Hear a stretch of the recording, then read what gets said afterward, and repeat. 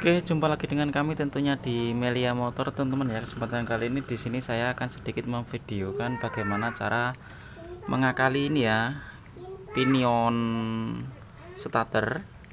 Gigi pinion starter ini dia bosnya pada bagian di crankcase-nya di situ. Pada bagian di sini dia udah oblak hingga menimbulkan suara berisik pada bagian pinion. Ini bekasnya nih. Bisa diperhatikan di sini bekasnya dia terkena pada gigi ini ya. Nah ini makanya dia suaranya berisik karena dia di sini gesekan terjadi gesekan. Karena di sini pada bagian bosnya dia sudah sudah oblak. Oke. Jadi kita di sini akan mengakali dan akan mengganti bosnya ini biar nggak oblak lagi. Caranya seperti apa? Simak terus video dari kami ya teman-teman ya. Sini yang jelas di sini dia sudah kemakan. Untuk pada bosnya ini sudah kemakan. Bisa kita coba pasang.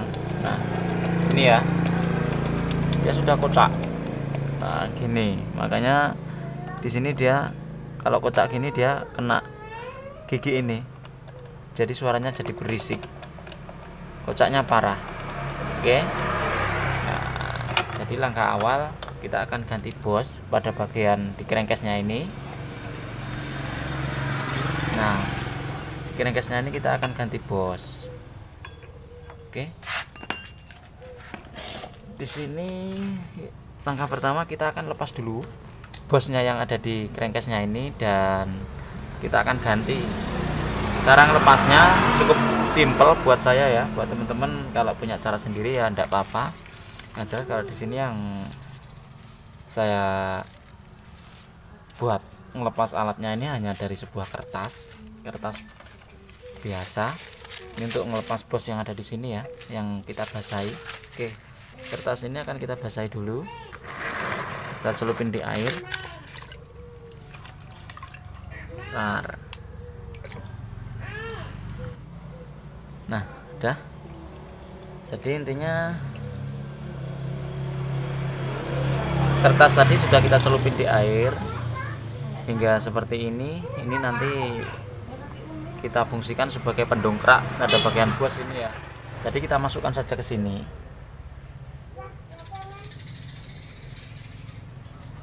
Kemudian kita siapkan besi yang pas dengan ini ya. Nah ini. Nanti kita akan pukul-pukul besinya ini nah oke okay.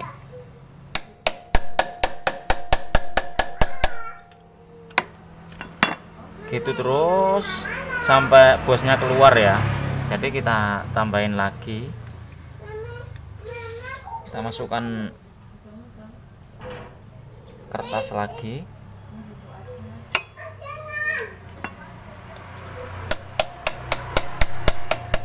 Nah udah. Di sini untuk bosnya udah keluar ya. Mudah sekali. Dengan cara hanya menggunakan sebuah kertas yang dibasahin. Oke? okay? Kalau sudah seperti ini kita akan ganti bosnya. Bentar. kita keluarin dulu nih kotoran sisa-sisa kotoran kertas tadi.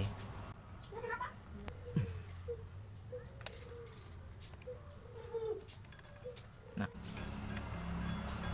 Oke dan udah kita bersihkan ya. Sekarang prosesnya tinggal pergantian bos ini.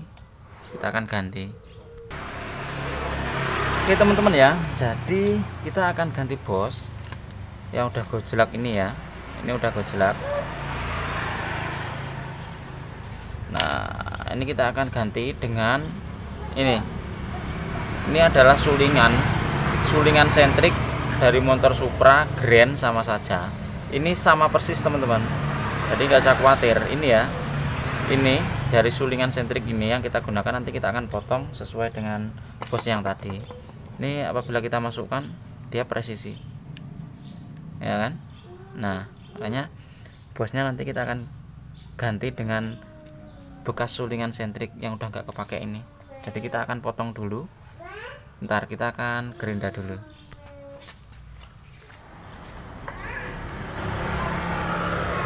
Oke ya teman-teman ya. Di sini untuk apa ini? Sulingan sentrik tadi sudah kita potong mana sih. Nah ini ya. Di sini sulingan sentrik tadi sudah kita potong dan ini bekas yang lama. Ini yang lama ya. Dan ini yang bekas sulingan sentrik yang kita potong tadi kita akan coba masukkan. Nah di sini dia presisi. Pas banget teman-teman ya. Jadi nggak kocak. Nih. Kita kita potong kita ukur sesuai ukurannya yang tadi tinggal kita masukkan ke sini ya sekarang kita masukkan dulu.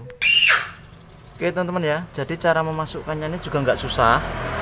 Jadi kita tinggal siapkan baut 12 yang seperti ini tinggal kita masukkan. Nah seperti ini ya.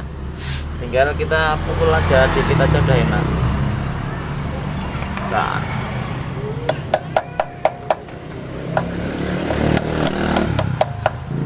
Nah udah mudah ya teman-teman ya tinggal kita tes masukkan. Nah ini presisi sekarang. Udah nggak terlalu kocak. Kalau kocak dikit ini wajar. Ini bagus ini. Nah hanya seperti itu ya cara pergantiannya.